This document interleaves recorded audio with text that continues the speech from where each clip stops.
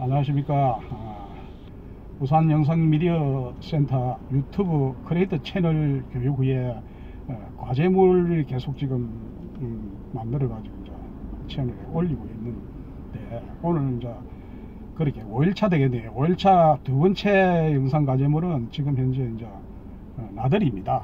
주제는 나들이인데 왜 나들이를 하냐면은 제가 며칠 전에 음, 그 티를 인터넷에서 칸투칸이라는 이 회사에다 요 티하고 요 색깔하고 또 하나 어, dark blue라는 그 두 가지를 제가 이제 구매를 했는데 한 개는 사이즈가 많던데 한 개가 이제 규격이 좀 적어가지고 그래서 인터넷에 이렇게, 이렇게 검색을 해보니까 부산에도 매장이 있더라고요. 그래서 지금 매장에 전화를 해가지고 재고가 있나 물어보고 있다 하길래 지금 바꾸러 가면서 이렇게 이제 어, 영상을 한번 만들어 보고 있습니다.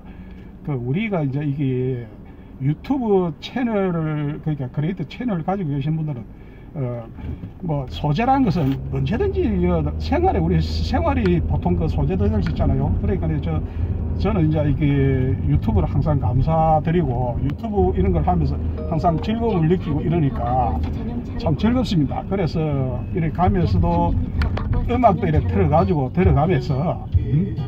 그래가지고 이걸 하는데 참 좋습니다. 여, 여러분 저 또 이 주위에 뭐 특별한 내용이나 다른 게 있으면 꼭 한번 만들어 보세요. 참 좋습니다. 자 그러면은 매장에 갔다 와서 저녁에는 무슨 소재가 될지 모르겠네요. 한번 찾아보고 꼭 올릴 수 있으면 올릴게요.